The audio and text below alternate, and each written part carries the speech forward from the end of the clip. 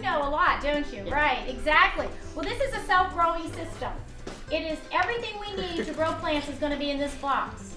And it is different than other growing systems because as Ian said, it has a plastic top on the top. Now, if it has a plastic top on the top, how is it? How are the plants going to get water? Um, my name is Ann Cruikshank, and I'm a right now I'm an, an eighth grade, seventh and eighth grade science teacher at Louise R. Johnson Middle School, which is in Manatee, Florida. I've been teaching 20 years. I started to use the Earth Box about nine years ago when I was approached by a gal from Master Gardeners who came and said, would we be willing to have some earth boxes in our outside uh, fenced-in area? And of course I jumped at it. And then she introduced me to Blake. And at that point I was teaching a gifted class. I thought this is a great project for gifted kids. And we also had an EMH class on campus. These are the kids that have lower IQs. And I thought, you know, it might be fun to have the gifted kids teach the EMH children about water conservation and plants and and growing and all that good stuff. So we uh, set up an appointment and Blake came out. He taught our kids as well as me how to set up an earth box. And we had eight of them at the time. And so we brought, our gifted kids brought the EMH kids out and they planted them.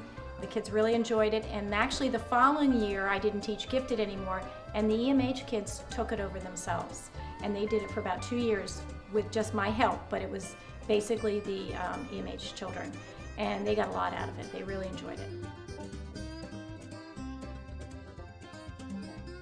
And let's go through these water cycle words and see if you can tell me what they're all about.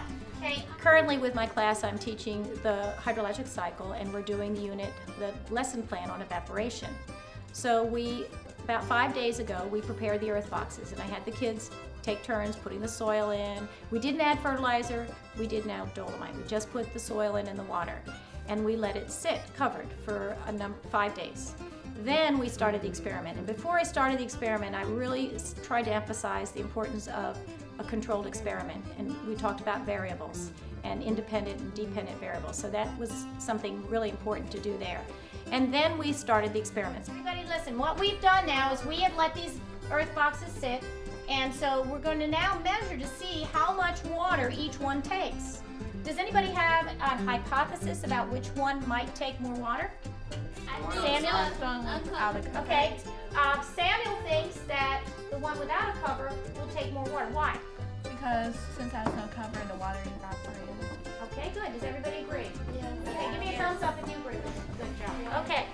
So we took the graduated cylinders and we added it to the one box that was uncovered and one box that was covered.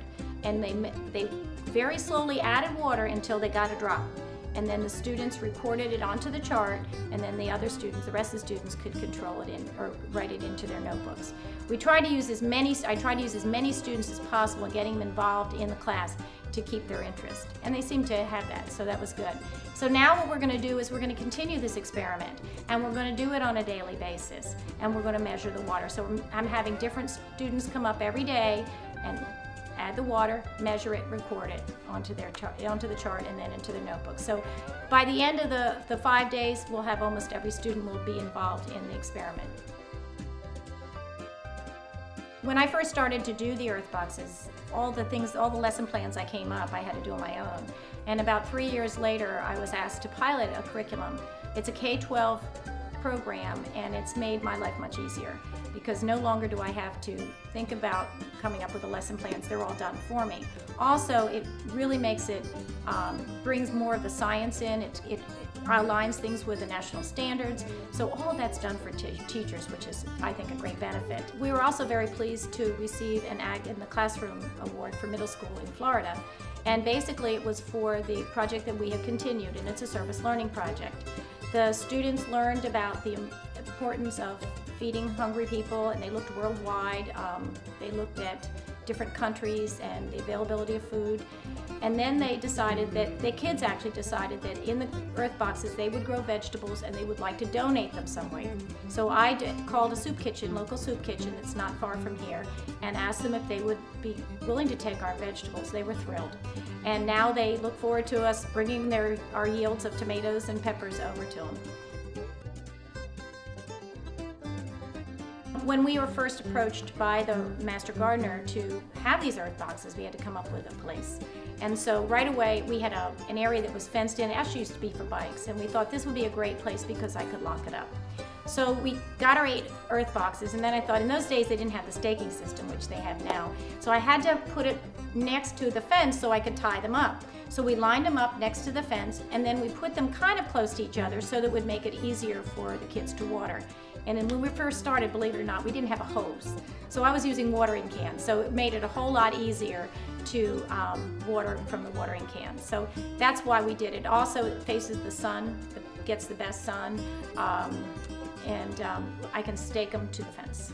We're very fortunate in Florida to have sun a lot of the year, but there, we have our winter months where it's very difficult to grow much out in our earth boxes. We have tried some winter cold weather crops like lettuce, collard greens, and things like that, but we are lucky also that we have grow light, and the grow lights are great. They are able to be used in the classroom. I can put them over anywhere in the classroom. I could put the earth box by the window if I wanted to, but then since it's on the casters, I can just roll it over to another teacher, and that teacher can use it too. So um, a number of teachers can use a small number of boxes, so it really gets maximum use out of it.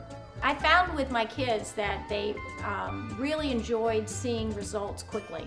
Um, when you plant in the earth boxes you get huge amount of yields you know lots of lots of vegetables and very quickly so that really got them more engaged and kept them going um, so they, they really responded more to it. They wanted to plant more. They were enthusiastic about trying different products or different different plants. And the coolest thing is some of them took what they learned in class and then used it to do science fair projects. And we even have had them go on to regional with it. So that, that really makes it a worthwhile project the kids. Also like the fact that they do not have to spend a great deal of time weeding. Because of the plastic mulch cover, there is no weeding. And that, so again, that's, that's kind of the tedious part of gardening that kids don't really like. So then all they have to do is water, and it takes very little time to water, and the kids love doing it, and so they, it works for us. Well, I think one of the great advantages of teaching science through using the earth box is that you cover a lot of different disciplines. You're doing a little bit of germination and plant growth. You're doing water conservation. You can even get into when you talk about fertilizers, you can do look at some chemistry. So you teach a lot in just using the earth box. Um, another benefit is I think the kids love it. And I think anytime you can get a kids engaged in doing something, that they're going to do better. And um, I've seen that over the years. They get very enthusiastic about it. They may little get a little, eh, you know, a little more active. But you know, when you see them engaged, it, it you really know you've, you've hit something good. Using the Earth Box and the curriculum that goes with it has really made my life as a teacher easier and it has made my kids more engaged. And I think that is, as teachers, that's what we're looking for. Ease for us and engaging the kids. And the Earth Box does it. And um, it's been a great resource for me over the last nine years. You know, I have to tell you, I grew collard greens one time and we picked them and I, I didn't know how to cook them. Well, so one of my kids, you know, I'm a Yankee, where were you right? born, Ann? In Philadelphia. Well, so one know. of my kids' moms, grandmothers, came in and she cooked them for the kids, so they had they could have collard greens.